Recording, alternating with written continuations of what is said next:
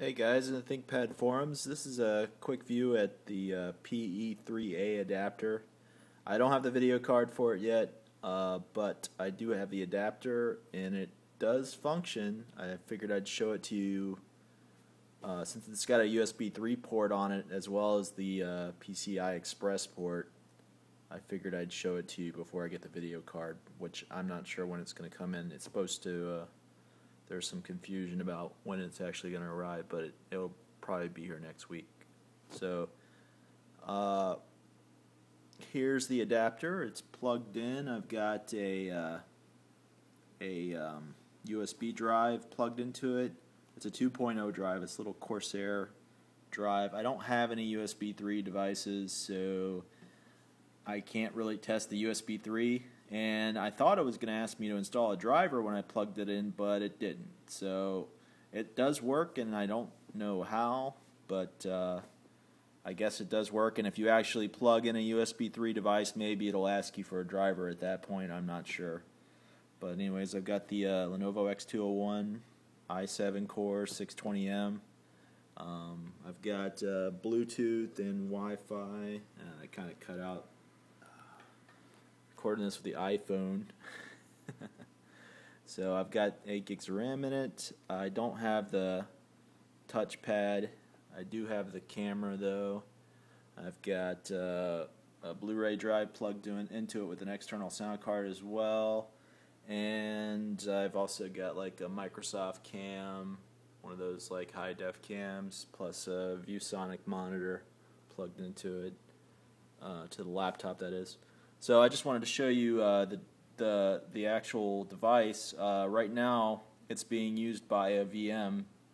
So I've got Ubuntu on that little USB device and I booted into the VM um, from the USB device. So I'm going to show you, this is uh, Ubuntu over here.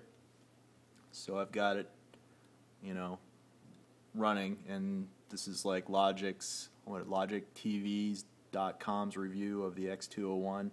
I don't know, I don't agree with what they say, but that's that's okay. Here's just showing you that it does work. So if you can see uh, this little here a second, this little thing right here is the uh, actually the Corsair thing. The X201 doesn't even get the new keyboard from the Right. So it's playing a YouTube video right now on the web browser on uh, VMware Player. So the USB device part does work. I've been using it for uh, for at least an hour now, and I actually played Dirt 2 with the uh, Xbox controller, which I got right here. So that was uh, that was pretty cool. That it actually it never didn't fail or anything. I didn't have any installation issues. So that works that works really well. I'm not a serious gamer. I am going to uh, show Dirt 2 with the frame rate and everything. Um, I got uh, this is the first time I've ever used Fraps. I'm going to stop this.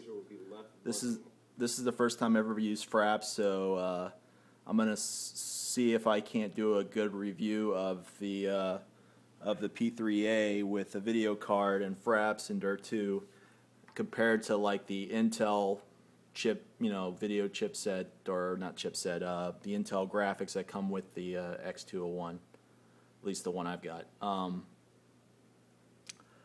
so uh, the next video that I'm going to post is probably going to be uh, just the frame rate of Dirt 2 on my X201. I'm not going to stop any of the services or anything like that. I'm just going to run it as a normal user would run an X201 with Dirt 2. So I'm not going to do any, I'm not going to cheat, like, you know, turn off the display. I'm going to have both displays on, like the laptop and the, the desktop display. And I'm not going to, like, uh, you know, edit the, the config file for Dirt 2 manually. It's going to be what Dirt 2 would have provided for you. You can change the in-game settings, and that's about the only thing I'm going to do with it. So I hope you enjoy it. All right.